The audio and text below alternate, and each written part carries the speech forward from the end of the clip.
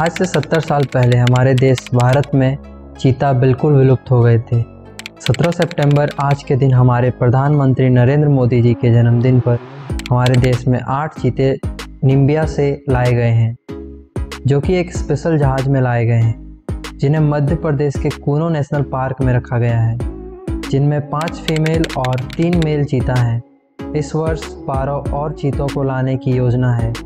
हमारे देश में चीतों का ज़्यादा शिकार करने और बंदी बनाने के कारण इसे उन्नीस सौ बावन में ही विलुप्त घोषित कर दिया गया था। ऐसे ही अमेजिंग वीडियो और फैक्ट्स जानने के लिए हमारे चैनल को सब्सक्राइब करें और वीडियो को लाइक करें।